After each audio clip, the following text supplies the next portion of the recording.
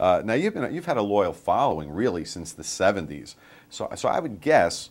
Uh, that a, a, Tanya Tucker concert is, is pretty much like a family affair today. Well, absolutely. You know, my fans have uh, that started out in the very beginning with me. I have yeah. kids now, and they're kids, yeah. and they raise them up uh, listening to my music, and I have a, a, a wide age group uh, fan base. Sure. And you know that's what my, my dad also, also also told me in the very beginning is that you know you got to pay attention to what's butter in your bread, and that's the fans. You and bet. you can't just uh, get all big and forget about them, you know, because that's what puts you there. And, and, and really, there's some of them that I, I swear they're crazy. I think, you know, every time I get off the bus, there they are. You know, like, what, are you crazy or something? We just drove 12 hours, you know? They love you. But, you know, they, they the Tucker heads, they call them. That's, that's so the Grateful Dead had the Dead heads, and I got the That's great. That's great.